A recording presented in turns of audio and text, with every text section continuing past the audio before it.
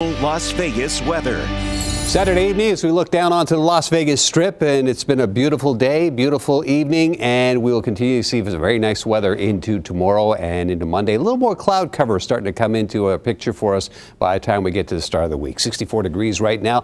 West wind, it's light, 3 miles per hour. Humidity 29%, the dew point temperature 31 degrees. 80 was our high today, way above what we should be for this time of the year and just short of the record high of 81 set back in 1953. Look at the record record low temperature, 16 degrees. That was back in 1938. What was going on back then?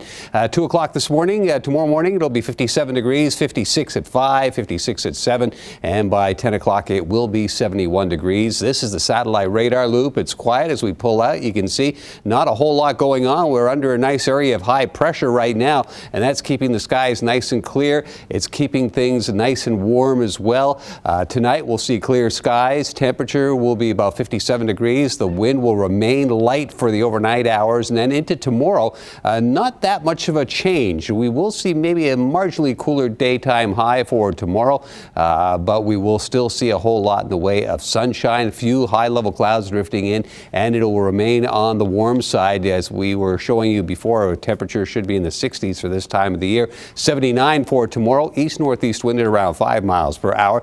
Looking at some of the cloud uh, for the week ahead as we put this into motion with our future track. You can see we'll be picking up some cloud cover as we get into Monday and Tuesday will be a cloudy day. Uh, by the time we get into Wednesday, it'll be passing clouds basically, and that'll be the same story on and through Thursday. Uh, so tomorrow into Monday, we've got lots in the way of sunshine with those clouds drifting in. And as we head on into Tuesday, you'll see uh, that frontal boundary coming down here. That's the first of two that's coming toward us. Uh, this is helping to push down some of the clouds clouds, but this secondary one that's coming in by the time Friday night rolls around, that's going to be the one that's going to really cool things down for us. So Wednesday, we start to see cooler air up in the north sliding down, but this really isn't the catalyst for it. It'll be the secondary front coming down. 79 will be our high tomorrow into Monday. We're looking at 75 on Tuesday, Wednesday 70, and then 71 on Thursday. And then as you watch this thing come down, uh, get ready for some uh, cooler temperatures. We're going to have a little bit of a shock to our systems because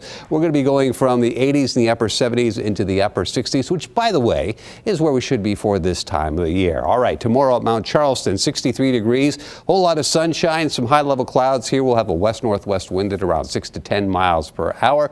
Our forecast uh, sunrise for tomorrow is at 616, and the temperature will be near 54 degrees at that time. Here's a look at your seven day forecast. We got 79 tomorrow, 79 on Monday, 75 Tuesday, Wednesday, 70 degrees degrees. It'll be 71 on Thursday, Friday, 70 degrees, and 67 on Sunday. Overnight temperatures, they're starting to work their way down as well. We will be in the 50s over the next seven days. Lauren? All right, Les.